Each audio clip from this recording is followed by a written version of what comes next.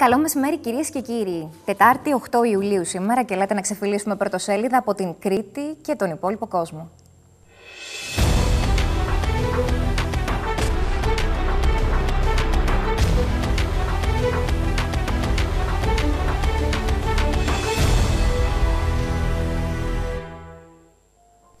Στο πρωτοσέλιδο της σημερινής Νέας Κρήτης μιλάμε για τον τουρισμό και κάνουμε μια ακτινογραφία. Στην ακτινογραφία αυτή της έναρξης της σεζόν, 45.000 οι αφήξεις στο πρώτο τουλάχιστον πενθήμερο. Από πού ήρθαν οι πρώτοι τουρίστες στο νησί μας, όμως επίσης και η εφαρμογή των υγειονομικών πρωτοκόλων που βαίνει καλώς, σύμφωνα τουλάχιστον με την ενημέρωση την οποία έχουμε. Αυτές ούτως ή άλλως οι αφήξεις, αλλά και οι επερχόμενες, είναι οι επικείμενες είναι εκείνες οι δικλείδε που από τη μια έρχονται να δώσουν μια ανάσα στην οικονομία του νησιού και γενικότερα της χώρας μας, από την άλλη όμως μας καθιστούν όλους σε επιφυλακή και σε ετοιμότητα για πάνε ενδεχόμενο. Όλες αυτές οι υγειονομικής άποψης μελέτες αλλά και οι διαδικασίες οι οποίες στηρούνται και πληρούνται οι προδιαγραφές κάνουν ανα πάσα στιγμή την κυβέρνηση να λαμβάνει μέτρα όπως επίσης θυμόμαστε ότι είδαμε την, τις πτήσεις και τις αφήξεις από Σερβία να σταματούν προκειμένου να μπορέσει να ελεγχθεί ο αριθμός αυτός των κρουσμάτων που εισέρχονται στη χώρα μας. Όπως και να έχει όμως, είναι μια διαδικασία η οποία αντιλαμβάνεστε ότι δεν αφήνει ούτε τους επισκέπτες, αλλά ούτε και εμάς που μένουμε στη χώρα μας να αισθανθούμε το καλοκαίρι όπως είχαμε συνηθίσει να το βλέπουμε. Από την άλλη, βλέπουμε ο εορτασμός των 200 χρόνων με το βλέμμα στο μέλλον. Η επικεφαλής της Επιτροπής Ελλάδα 2021 στο Ηράκλειο. Έχουμε πολλά να δούμε, πολλά να συζητήσουμε, όμως για να προλάβουμε να τα δούμε σφαιρικά, φεύγουμε από τα του νησιού μας και της χώρας μας, φεύγουμε από τη Νέα Κρήτη και πάμε στο Ηνωμένο Βασίλειο.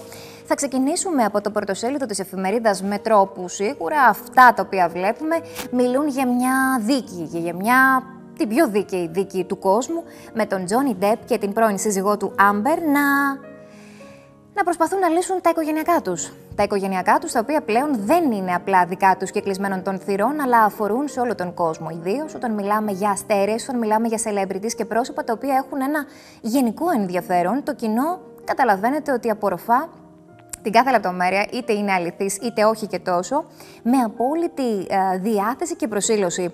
Οι πρώην σύζυγοι ανταλλάσσουν κατηγορίες. Ανταλλάσσουν κατηγορίες και απόλυτα μάλιστα ψυχαμερές, αειδιαστικέ θα τις χαρακτηρίζαμε εμείς, λεπτομέρειες από τις ιδιωτικές τους στιγμές προκύπτουν και τις μοιραζόμαστε με τον υπόλοιπο κόσμο. Θα σταθούμε μόνο σε αυτό το οποίο μα προκάλεσε μια εμετική διάθεση, δεν σας κρύβω, με μια συγκεκριμένη συνήθεια η οποία αναφέρθηκε από τον Ντεπ με την πρώην σύζυγό του να έχει αφοδεύσει στο κρεβάτι μας. Αυτό οδήγησε σε διαζύγιο. Συχαμερές λεπτομέρειες όμως. Από το θρίλερ αυτό, γιατί Μιλάμε για ένα θρίλερ με την πολύ ε, σύντομη διάρκεια συζυγική τους σχέση του Τζόνι Ντεπ και της Amber Heard, της εντυπωσιακής βέβαια από εξωτερική εμφάνιση Amber Heard, με αποκαλύψεις και άγνωστες πτυχές που θυμίζουν ταινία τρόμου, με τρέλα, με καταχρήσεις, με ξυλοδαρμό, με βία, με πολλά πολλά παραλυπόμενα που έρχονται στο φως όσο τουλάχιστον προκύπτουν, όπως επίσης και για ντοκουμέντα αποκαλύψεις με κρυφές βιντεοσκοπήσεις αλλά και ηχογραφημένα μηνύματα. Στα δικαστήρια και συγκεκριμένα στο ανώτατο δικαστήριο του Λονδίνου έχει πάει η υπόθεση πια και εκδικάζεται με τους δύο να ανταλλάσσουν κατηγορίες, όχι πια όρκους αγάπης ούτε φίλια. Τους είχαμε συνηθίσει full in love και πολύ γρήγορα είχαν προχωρήσει στον κοινό δρόμο και τη διαδρομή και την πορεία τους, όμως όλα αυτά βλέπετε ότι όχι ακριβώς εν μια ανοιχτή, σε πολύ λίγες στιγμές όμως μπορούν να αλλάξουν. Τα παρεπόμενα, θα τα παρακολουθούμε και στη συνέχεια. Σίγουρα όλος ο διεθνής τύπος όμως, από τη μια από το Ηνωμένο Βασίλειο αλλά και από την Αμερική, έχει στρέψει το βλέμμα μοιραία σε αυτά τα οποία έρχονται στο φως. Το ζευγάρι ήταν παντρεμένο για δύο χρόνια. Μιλάμε για τη χρονολογία 2015 έως τον Ιανουάριο του 2017. Ο γάμος είχε τελεστεί στο ιδιωτικό νησάκι, ιδιόκτητο από τον Τζόνι Ντεπ στην Καραϊβική και θύμιζε παραμύθι. Κάποιες φορές όμως η ζωή δεν είναι ακριβώς παραμυθένια, όσο και αν προσπαθούν ή προσπαθούμε οι άνθρωποι να την δείξουμε έτσι προς τα έξω. Α, κρύβει πολλές μελανές στιγμές και σίγουρα μιλώντας για μελανές και μελανιές είχε και μόλοπες είχε τελικά η Amber Heard στο σώμα της, ε, ύστερα από κακοποίηση, όπως η ίδια δηλώνει, από τον Johnny Depp. Η συγκατοίκηση Αλλάζει πολλά πράγματα στα ζευγάρια, όμως σε καμία περίπτωση δεν δικαιολογεί τη δημιουργία μιας σχέσης μίσους. Και σίγουρα όταν κάπου δεν περνάμε καλά, διακόπτουμε. Ό,τι δεν ε, λύνεται, κόβεται. Αγωγές, ακροάσεις, αποζημιώσεις ύψους 50 εκατομμυρίων δολαρίων και μια διάθεση από την πλευρά της Amber Heard να δοθούν τα χρήματα αυτά για φιλανθρωπικούς σκοπούς ήταν οι λίγες μόνο από τις πτυχές, οι οποίες είχαν το προηγούμενο διάστημα απασχολήσει την επικαιρότητα. Όμως, viral. Έχει γίνει και το βίντεο ντοκουμέντο όπου καταγράφηκε ο Τζόνι Ντέπ σε μια έξαρση και σε μια οργή. Μίσος, θυμό και σίγουρα ε, όχι και τόσο νυφάλια κατάσταση από την πλευρά του ίδιου, δεδομένης της μεγάλης κατανάλωσης κρασιού, όπως επίσης ίσως και πιθανώς όπω η ίδια αφήνει να διαφανεί και χρήση άλλων ουσιών ναρκωτικών από την πλευρά του Τζόνι Ντεπ. Αυτό το βίντεο έχει κάνει το γύρο του κόσμου και αυτό το βίντεο έχει προκαλέσει εισάλλο. Ο ίδιος όμως διέψευσε, δημιουργώντας μια στιγμία, θα λέγαμε, κατάσταση λάθους και μιας δίνη εσωτερικής. Είναι αρκετά σκοτεινός τύπος από ό,τι φαίνεται ο Τζόνι Ντεπ, ταλαντούχος ασφαλώς, όμως ποτέ δεν ξέρεις τι κρύβει ένας άνθρωπος μέσα του. Πάντως, σίγουρα δεν κρύβονται τα σημάδια της κακοποίησης στο σώμα της Amber Heard ε, και αυτά ήταν που οδήγησαν και το δικό της φιλικό περιβάλλον στο να την ενισχύσει και να την παροτρύνει να ζητήσει βοήθεια. Η βοήθεια αυτή όμως ε, ακολούθησε και μετά από ένα ενδελεχές καυστικό προς τον Τζόνι Ντεπ άρθρο της εφημερίδας Sun, το οποίο ο ίδιος κατέκρινε, επέκρινε και μάλιστα ζήτησε να ακολουθηθεί και μια δια, διαδικαστική, δικαστική αυτή τη φορά, τροπή των πραγμάτων. Όπως και να έχει, το γεγονός ότι χαρακτηρίστηκε ο Τζόνι Ντεπ από την εφημερίδα Sun ως ένας άντρα που κακοποιεί τη γυναίκα του, ήταν κάτι που τον πόνεσε. Όμως γενικά, τι πονάει περισσότερο αλήθεια, το θύμα ή ο θήτης; Ε, κάτι τέτοιο, γιατί από το, σημείο και αυτό, από το σημείο αυτό και μετά μιλούν οι δικηγόροι, διαψεύστηκε από τον δικηγόρο του Τζόνι Ντεπ, όμως η Άμπερ, όπως δηλώνει ο ίδιος, έσβησε και τσιγάρο πάνω στο σώμα του και φρόντισε να κοπεί το μικρό του δαχτυλάκι, καθώς του πέταξε ένα μπουκάλι βότκας, οργισμένη και μενόμενη. Στην Daily Mirror το ίδιο αυτό μοτίβο βλέπουμε ότι ακολουθείται και χαρακτηριστικά διαβάζουμε η Άμπερ μου έκοψε το δάκτυλο, αυτό ακριβώς συνέβη ρίχνοντάς μου μπουκάλι με βότκα πάνω μου με αμέριστη οργή και αδικαιολόγητη οργή, λέει ο Τζόνι Ντεπ. Αυτά συνέβησαν κατά τη διάρκεια των γυρισμάτων της σειράς ταινιών «Οι πειρατές της Καραϊβικής» στην Αυστραλία.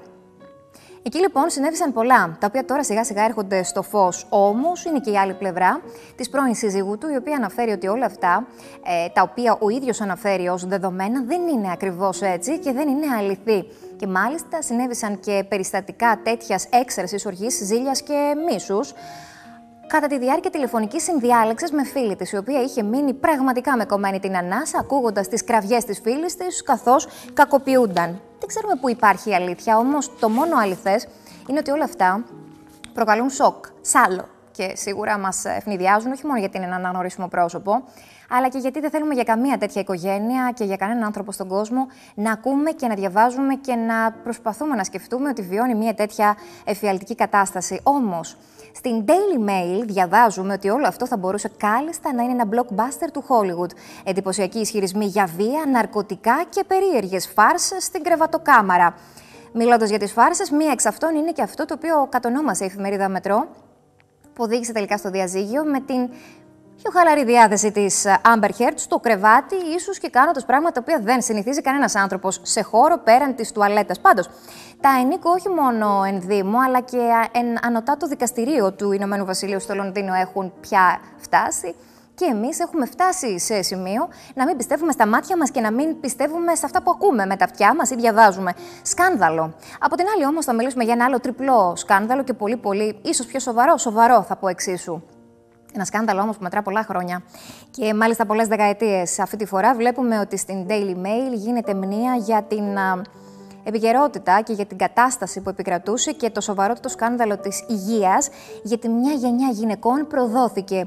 Και μαζί με αυτές τις ε, χιλιάδες γυναίκες που τραυματίστηκαν από το τριπλό σκάνδαλο υγείας, αναφέρουμε ενδεικτικά τη μία παράμετρο, εμφυτεύματα ματιών και προσπάθειες αντίστοιχα πειραματικές με δοκιμαστικά φάρμακα γονιμότητας και εγκυμοσύνης, όπως επίσης και θεραπείες πιλωτικές πειραματικές, οι οποίες εφαρμόστηκαν για την θεραπεία της επιληψίας. Όλες αυτές οι χιλιάδες περιπτώσεις ανθρώπων οι οποίοι ε, νοσηλεύτηκαν, χορηγήθηκαν συγκεκριμένα σκευάσματα τα οποία δεν είχαν περάσει από έγκριση και βεβαίως ήταν σε ένα πειραματικό στάδιο. Πολλά υποσχόμενο από ό,τι φαινόταν μελλοντικά φέροντας αποτελέσματα, όμως απεδείχθη ότι δημιουργήθηκαν πολλές παρενέργειες, πολλά σοβαρά προβλήματα και κάποια από αυτά μη αναστρέψιμα. Όλα αυτά τα σκευάσματα σταδιακά μπορεί να απορρίφθηκαν ως προβλήματα όμως των γυναικών αποδόθηκαν, δηλαδή ότι δεν τελεσφόρησε η κάθε διαδικασία, γιατί η συγκεκριμένη γυναίκα, η εκάστοτε γυναίκα, δεν μπόρεσε να κάνει αποδεκτό από τον οργανισμό της το συγκεκριμένο σκεύασμα. Άρα δεν ανταποκρίθηκαν οι περιπτώσεις των, των γυναικών, των ασθενών; Είναι το ένα ερώτημα. Το άλλο όμως που απαντάτε είναι ότι στο φως έχουν έρθει ξανά πολλές χιλιάδες υποθέσεων, ακόμα και από τη δεκαετία του 1950. Όταν μπαίνει ακριβώς κάτω από το φως του προβολέα και ανοίγουν φάκελοι και αρχεία καλά κλεισμένα ετών, τότε μάλλον πως θα οδηγηθούν και στο να ανοίξουν καλά κλεισμένα στόματα ανθρώπων που ζιοπούσαν. Παρενέργειες, γενετικές ανομαλίες, αποβολές, εγκεφαλικές βλάβες, καρδιακές παθήσεις. Είναι μόνο κάποια από τα παρεπόμενα που σημειώθηκαν σε πολλές, πολλές περιπτώσεις ανθρώπων. Στον Independent αυτό το σκάνδαλο μονοπολεί το πρωτοσέλιδό του, όπως θα δείτε, με το θέμα να έχει πάρει μεγάλη διάσταση και βεβαίως να έχει ενδιαφέρον να παρακολουθήσουμε πώς ο τίτλος μας ε, καθοδηγεί στο ότι απορρίφθηκε, αποσιωπήθηκε και αγνοήθηκε για δεκαετίες όλο αυτό το τριπλό σκάνδαλο υγείας. Η καταδικαστική ετοιμιγορία της έρευνας σχετικά με τον χειρισμό ασθενών που υπέστησαν βλάβες σε επί σειρά μη ασφαλών θεραπευτικών δοκιμών και μεθόδων είναι κάτι το οποίο αξίζει πάρα πολύ να δούμε πώς θα εξελιχθεί. Λυπηρά περιστατικά, λυπηρά συμβάντα όμως είναι όλα βγαλμένα από τη ζωή. Και βλέπουμε ότι έστω και εκ των υστέρων, πολλές τέτοιες περιπτώσεις ανθρώπων που ακόμα και τώρα δεν θα γνώριζαν τι ακριβώς είχε συμβεί, πιθανώς να αισθανθούν και μία, μία κάποια, αν μπορεί να θεωρηθεί έτσι, ικανοποίηση ελάφρυνση και ανακούφιση. Οι συγγενείς των ανθρώπων αυτών, αν όχι οι ίδιοι. Μιλώντας για καρδιές σε καρδιές, θα περάσουμε αυτή τη φορά με ένα άλλο πιο χαλαρό όμως κλίμα, έτσι όπως διαμορφώνεται στο Μπρίστολ, στο Ηνωμένο Βασίλειο, με μια διάθεση να δημιουργηθούν αποστάσεις ασφαλείας, όχι όμως πια με κύκλους, ε, για το δύο μέτρων α, κομμάτι της απόστασης που πρέπει να τηρείτε, αλλά με καρδιές. Είναι πιο αγαπησιάρικη η εκδοχή αυτή και αν μπορούμε να το διαβάσουμε διαφορετικά, είναι «Σ' αγαπώ και κρατώ απόσταση ασφαλείας» ή «Με αγάπη κρατάμε τις αποστάσεις» ή «Καρδιές σε απόσταση». Πάντως, οι εικόνες αυτές που καμιά φορά δίδονται τόσο συμπτυγμένα μέσα από σκίτσα, αποτυπώνουν ένα μεγάλο, μεγάλο κομμάτι σκέψης και συλλογισμού. Μιλώντας για συλλογισμό και για σκίτσο, πάμε στο σκίτσο των Times, όπου θα δούμε να παρουσιάζεται ο καλός, ο κακός και ο άσχημος. Ο Ρίση Σουνάκ από τη μια, ο Υπουργός Οικονομικών, ο Μπόρις Τζόνσον, ο Πρωθυπουργός, και από την άλλη ο Ντόμινικ Κάμινγκς με το σκάνδαλο το οποίο συζητούσαμε το προηγούμενο διάστημα. Καθένας αντιστοίχως έχει πάρει την ιδιότητα και τον χαρακτηρισμό από τους Times.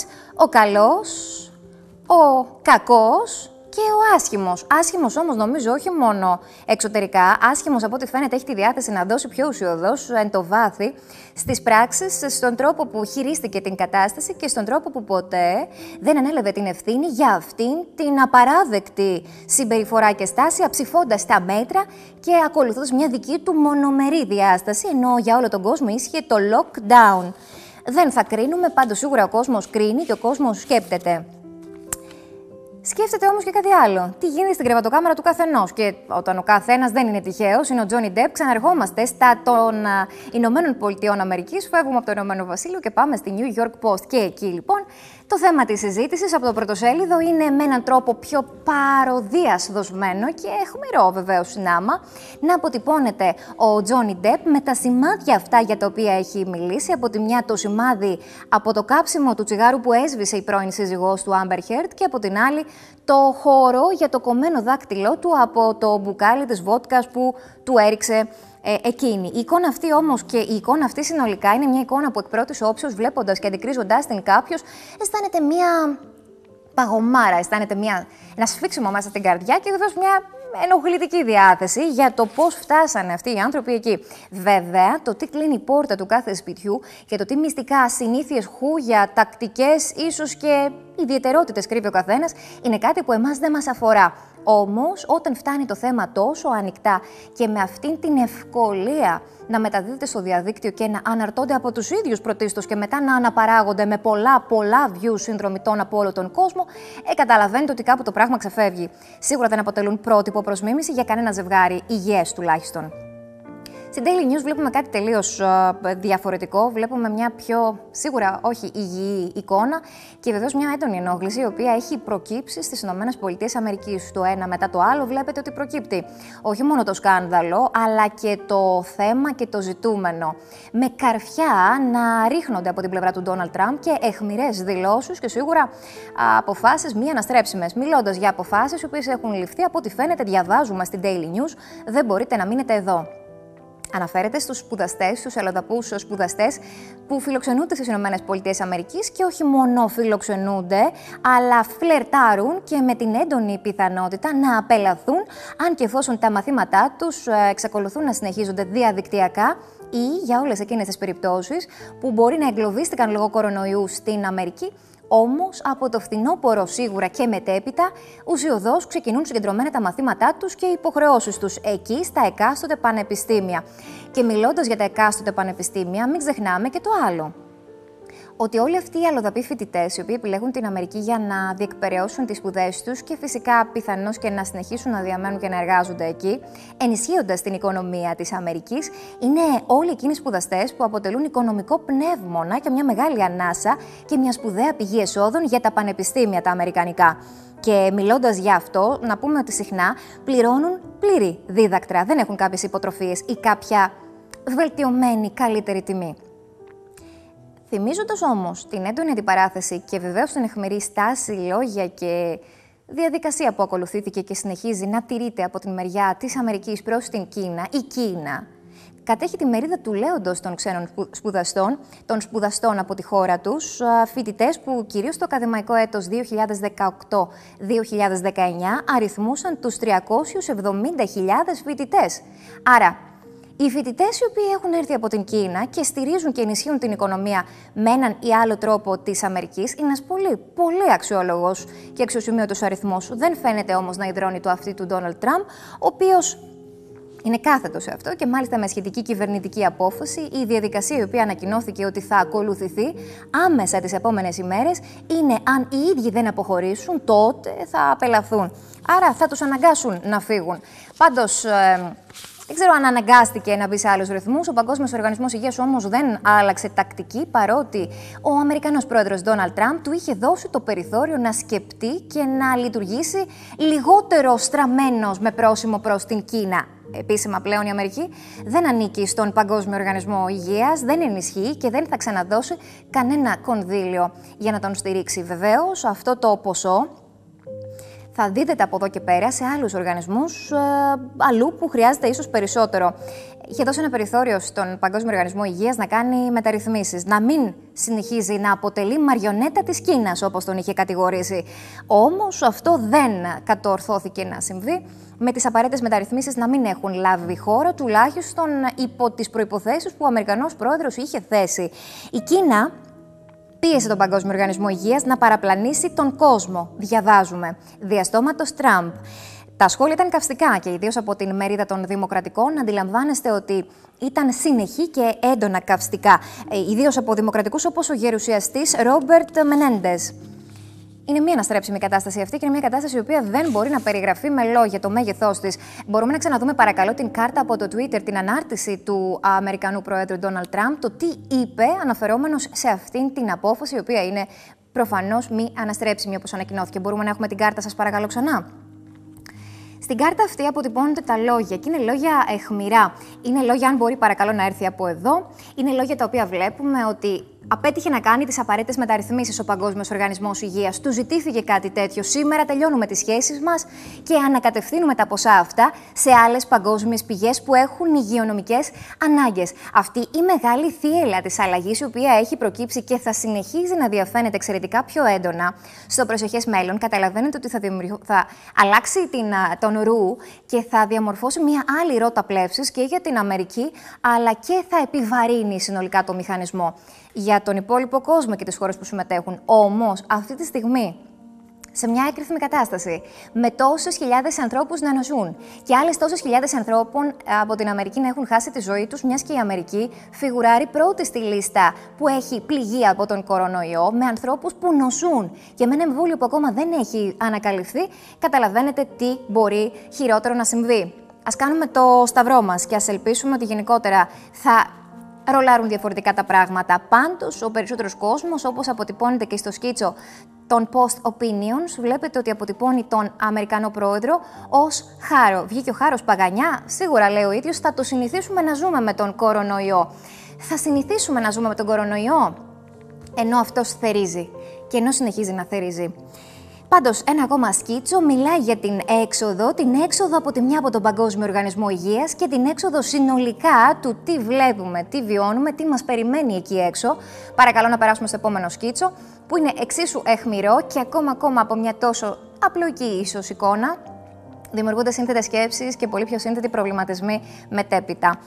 Από αυτό όμως και από όλη αυτή την κατάσταση, θυμίζω στο σημείο αυτό ότι Μόλις χθες ηρωνεύτηκε εκ νέου τον Dr. Fauci, ο Αμερικανός πρόεδρος, αναφερόμενος μεταξύ των άλλων και απαξιώνοντάς τον, αναφερόμενος σε αυτό το, το μία χρησιμοποιήστε μάσκες, μία δεν πρέπει, μία πρέπει, μία δεν πρέπει. Όλο αυτό το παλατζάρισμα, άλλα έλεγε τη μία, άλλα έλεγε την άλλη. Κάποιο θα σκεφτεί ότι λες και ξέραμε στην αρχή, ή λες και ήξεραν και σε εμάς δεν συνέβη αυτό. Στην αρχή δεν μας έλεγαν μη φοράτε μάσκες και μετά φτάσαμε σε ένα σημείο παρακολουθώντας τα επιδημιολογικά α, νούμερα, κρούσματα και δείκτες ότι έπρεπε να συμβεί κάτι τέτοιο. Πού να κυκλοφορήσεις δημόσια ή να μετακινηθείς ή να ταξιδέψεις χωρίς μάσκα πλέον. Πάντως, ε, ενώ ο Αμερικανός πρόεδρος λέει ότι εγώ πιστεύω πως θα συνηθίσουμε με τον νέο κορονοϊό, τον SARS-CoV-2, εγώ θα πω ο Θεός να βάλει το χέρι του. Και σίγουρα θα χρειαστεί να βάλει το χέρι του, γιατί η μία μετά την άλλη οι αποκαλύψεις έρχονται και θα μιλήσουμε για το βιβλίο της ανιψιάς του Ντόναλτ Τραμπ που θα ευχόταν ο ίδιος να μην κυκλοφορήσει. Προσπάθησαν άλλωστε να αποτρέψουν την κυκλοφορία του βιβλίου της Μέρι Τραμπ «Too much and never enough.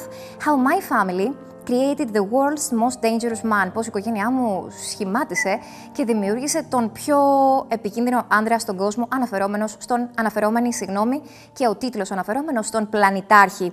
Ε, κάνει λόγο για παιδική κακοποίηση του Αμερικανού Πρόεδρου από τον πατέρα του Φρέντερικ, όπου η αγάπη για εκείνον δεν χωρούσε.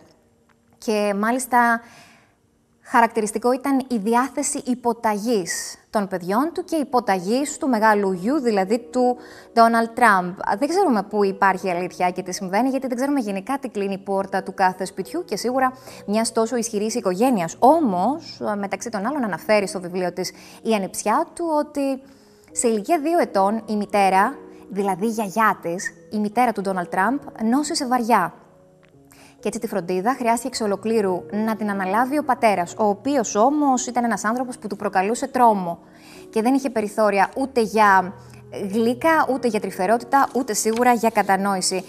Ίσως σε ένα βαθμό, αν και εφόσον έχουν υπόσταση όλα αυτά, αυτό το όμορφο γλυκό νεαρό πλάσμα να μεγάλωσε και να σχηματίστηκε σε έναν άνθρωπο πιο α, αναγκαστικά έχοντας την, την επιβεβλημένη υποχρέωση να επιβιώσει και να συνεχίσει τα βήματά του. Βλέπετε πόσο γλυκά είναι τα χαρακτηριστικά του ως μικρό παιδί και να εξελιχθεί σε έναν άλλον ενήλικα.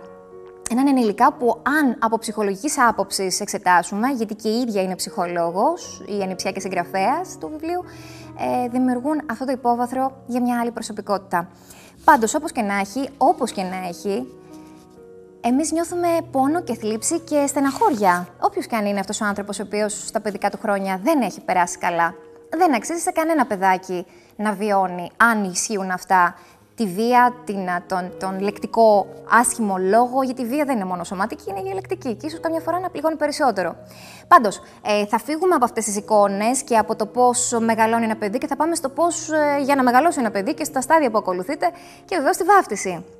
Για να χαλαρώσουμε λίγο, θα δούμε μία νέα τακτική που εφαρμόζεται, γιατί και οι, οι, οι άνθρωποι του Θεού πρέπει να έχουν σαν προτεραιότητα και βασικό γνώμονα την ασφάλεια των ανθρώπων των πιστών και βεβαίως των ιδίων. Αλλά στις ΗΠΑ και στον Καναδά, από ό,τι φαίνεται, έχει αρχίσει να υιοθετείται ένας άλλος τρόπος προσέγγισης, βάπτιση με νεροπίστολο. Είχατε ξανακούσει, θα το ακούσετε και θα το ακούτε τακτικά από ό,τι φαίνεται στο εξής. Είχαμε δει αγιασμό των υδάτων με νεροπίστολο, είχαμε δει ξομολόγηση σε πάρκινγκ σε απόσταση 2 μέτρων, δηλαδή το προβλεπόμενο. Ε, τώρα θα βλέπουμε και βαφτίσει με νεροπίστολο. Και σίγουρα όταν θα το βλέπουν μετά από χρόνια τόσο οι γονείς, ο νονός, η νονά, όσο και το ίδιο το παιδάκι μεγαλώνοντας, θα γελάει.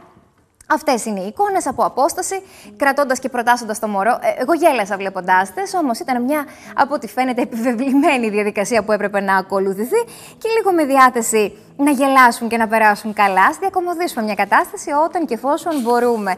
Άλλωστε, χρειαζόμαστε το χαμόγελο, το γέλιο και την πιο ζωγόνο διάθεση αισιοδοξίας, όπου και αν έρχεται αυτή και από όπου και αν έρχεται. Πόσο μάλλον από α, τα χέρια των ανθρώπων του Θεού. Λοιπόν, θέλημα Θεού. Σε ωραία θελήματα όμως θα περάσουμε και σε θελήματα εξέλιξης και προόδου με ελληνικό χαρακτήρα και με μια διάθεση να δούμε τη ζωή διαφορετικά, αξιοποιώντας την τεχνολογία και μάλιστα προστατευόμενη ως ασπίδα ή τουλάχιστον ως έναν τρόπο αδρανοποίησης και πιθανώς εξουδετέρωση, θα πει κάποιος, του κορονοϊού.